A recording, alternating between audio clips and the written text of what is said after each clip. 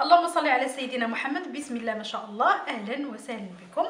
اليوم في قناة وصفات الاحلام غادي تشوفوا معايا كيفاش نحتفظوا بالثومه إلا عندكم الثومه طبعا كتكون عندنا كثيره خصوصا في الموسم ديالها كتكون متواجدة وكتكون بكثره وما كنعرفوش كيفاش نستغلوها أولا كيفاش نحتفظوا بها.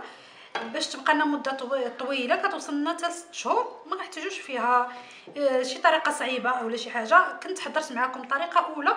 باش كنطحنوا الثومه وكتبقى لنا صالحة لمدة 6 شهور ولكن كتكون في الثلاجه هاد المرة غادي نحضروها وكتبقى صالحة 6 شهور ولكن بدون ثلاجه وكتكون آه، صحية وما فيهاش مواد حافظه وفي نفس الوقت نقدروا نطيبوا بها أي حاجة.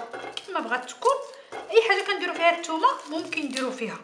أنا عندي كمية هنا ديال الثومه الثومه الثومه على حسابكم. سواء كثيرة سواء قليلة نفس الطريقة. ما كاينش العبار في هاد في هاد الطريقة هذه أنا كنحل الحبات ديال الثومه الثومه يعني الفصوص ديال الثومه من من الرأس. كنحيد هذا الرأس هذا لأني غنستعمل غير الحبات. غنكمل هذا الشيء اللي عندي. كناخذوا الثومه ديالنا وكنقيوها. هنا عندكم الحل بين جوج طرق. يا إما كتغسلوها هي الأولى دابا ومن بعد كتنقيوها. كتشدوها كتنقيوها.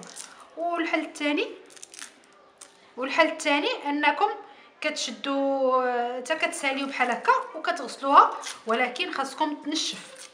السر أنك تحتفظوا بالحاجة مدة طويلة ما خصهاش يبقى فيها الماء. دائما الحاجة تصاوب وتنشف يا إما كتحطوها في الشميشه واحد شوية في السطح ديالكم واحد عشر دقائق اولا ربع ساعة بشي شبيكة اولا ممكن كتساليو كتمسحوها بشي بشي منديل. باش كتولي ناشفة وكت ما كتخسرش لينا. دائما هذيك النقيطة ديال الماء راه كتلعب دور بطبيعه الحال. غادي نقشر هاد الكمية اللي عندي كاملة. من بعد ما سالينا الثومه ديالنا كناخذ واحد القرعة ديال الزاج كنشدو الثومه وكنخشوها في القرعة مباشرة. ما كنحتاجو لا نقطعوها طريفات.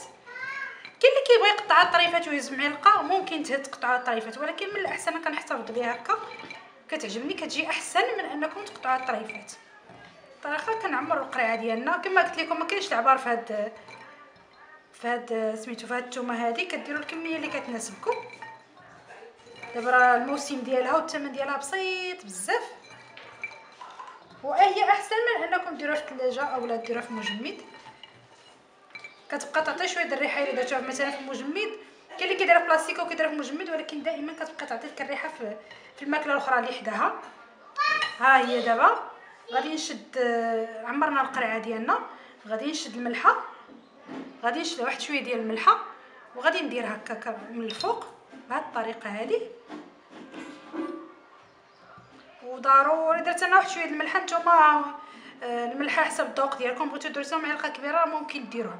لأن هذا كيتسمى الطرقاد أنا ما بغيتهاش تجيني مالحة ندير واحد شوية ما تجينيش ما بغيتهاش تجيني مالحة. كما قلت لكم نتوما الملحة اللي بغيتو شوية وتو بزاف والأساسي هو زيت الزيتون. ولا غادي حافظ لينا على هاد الثومه هادي بهاد الطريقة كنوضعوها فوق هذيك المليحة باش كتهبط المليحة. القرعه ديالنا راه عامرة بالثومه يعني ما لنا الزيت بزاف. نحاولوا نغطيو شوية الثومه صافي ها هي.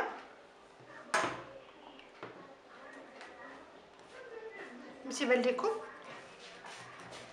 ها هي نحاولوا نحركوها شوية باش كتدخل هذيك الثومه كتنسجم. مع زيت البلدية. وهنايا كنسدوها. وفي الجوانب ديالها نحاول نديرو شوية بلاستيك باش نتاكدوا إلا كنتم متأكدين أن القرعة ما كتنفش راه مزيان. ولكن الاحتياط ديروا شي بلاستيكة من هنايا.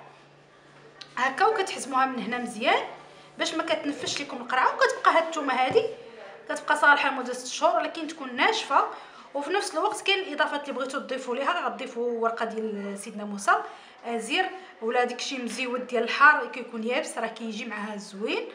كتبقى هذيك الإضافات اختيارية. ولكن أنا ما ضفت لها حتى حاجة باش نستعملها في جميع الوصفات. بهذه الطريقة هذه. كنت حضرت لكم فيديو سابق. كنت حن... كنا حضرنا الحار.